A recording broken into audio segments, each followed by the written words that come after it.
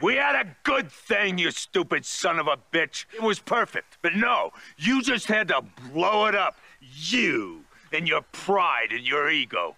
You just had to be the man. If you'd done your job, known your place, we'd all be fine right now.